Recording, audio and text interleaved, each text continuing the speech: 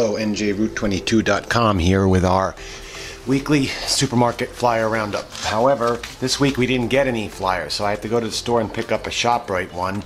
And, uh, you know, usually not much good going on at King's, uh, except an occasional good buy one, get one free offer. And, uh, we go to Bishop's IGA in White House because they're local, and that's about it. We don't do stop and shop anymore. So let's just talk about ShopRite real quick here. It's their uh, summer coupon event, reminding us that summer's not over yet, whatever that means. Uh, didn't seem much uh, attractive to us here. I mean, we don't eat ice cream, we don't drink junky uh, cancer water um, or any sweets or anything like that.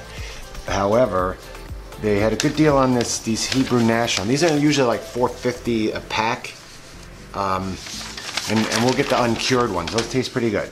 And they have a good deal on wild lobster also. Um, this normally like eight bucks a pound. It's now uh, six dollars a pound with uh, the coupon. And if you like fried chicken, I like Shoprite's fried chicken. Uh, they have a good deal this week uh, for, with this coupon. Eight pieces for 5.50. And that's it for that. Let's see what they have in their main book. Um, I liked the London Broil sale when it was 50% uh, off, but 30% uh, off is better than zero off. So that's uh, something to consider for your grill or your smoker this week. And they also have, uh, always the cheese is, is a good price. And they have, a, I think, a fairly good deal on the on the Bounty uh, pa paper towels. Uh, you got to do the price per square foot though if you want, really want to be sure you're not getting duped. What else? Oh, and I say, you say, no to K-Cups. It's a stupid, expensive way to drink coffee. I don't care how easy it is. Um, they got P Perdue Poultry 40% off. It seems to always be 40% off every other week. Um, junk Junk. Let's see, I, I marked stuff off. What did I like this week?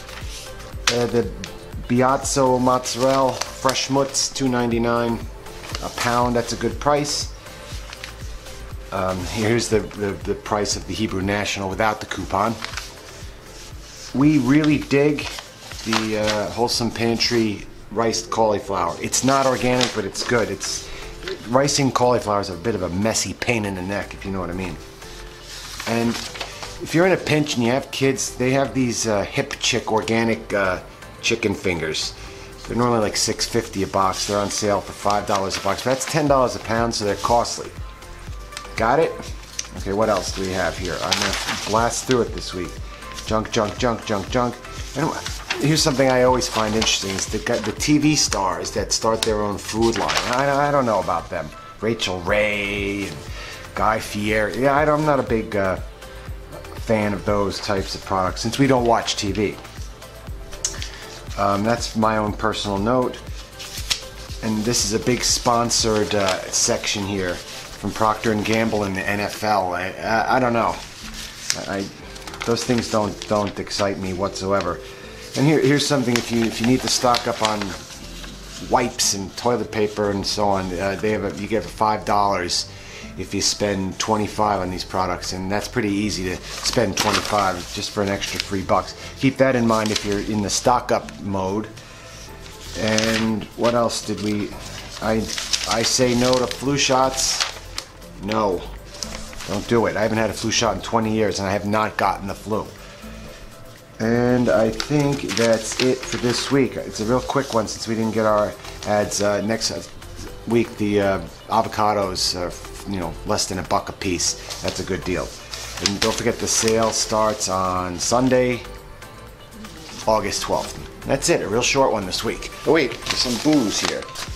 We, we do cheap wine reviews, and I'm gonna try a couple couple of these uh, cheap wines. The Fox Hollow, that's probably gonna make me feel like crap. And the Cul-de-sac, I think that's a wine. Uh, four bucks a bottle. I think I'm gonna you know, be risky and try it. Have a good weekend.